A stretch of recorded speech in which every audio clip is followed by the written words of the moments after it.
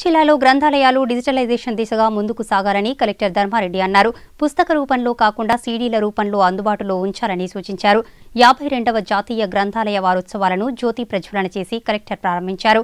అనంతరం ఆయన మాట్లాడుతూ గ్రంథాలయాలు ప్రజలకు అందుబాటులో ఉండాలని అన్ని గ్రామాలలో వీటిని ఏర్పాటు చేయాలని పిలుపునిచ్చారు. న్యూస్ పేపర్లతో పాటు మంచి మంచి పుస్తకాలను పాఠకులకు అందుబాటులో ఉంచాలన్నారు. ఏం పుస్తకాలు స్టోరీ స్టోరీ బుక్స్ ఉన్నాయి. ఇంకేమున్నాయి? ఫ్రీడమ్ ఫైటర్స్ పుస్తకాలు ఉన్నాయి. ఇంకా? మీకేం పుస్తకాలు అంటే ఇష్టే కాకుండా అంటే ఏ పుస్తకం అంటే ఆ పుస్తకాన్ని అన్నిటినీ అందించే ప్లేసు లైబ్రరీ.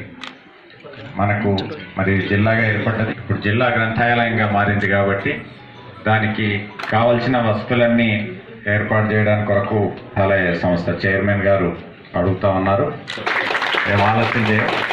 మీరు వీలైనంత త్వరగా ప్రారంభోత్సవం కూడా పెట్టుకోండి ఖచ్చితంగా. మరి అంటే మనకి టీవీ వచ్చింది సెల్ ఫోన్లు వచ్చినాయి చాలా సమాచారం అయితే ఉంది.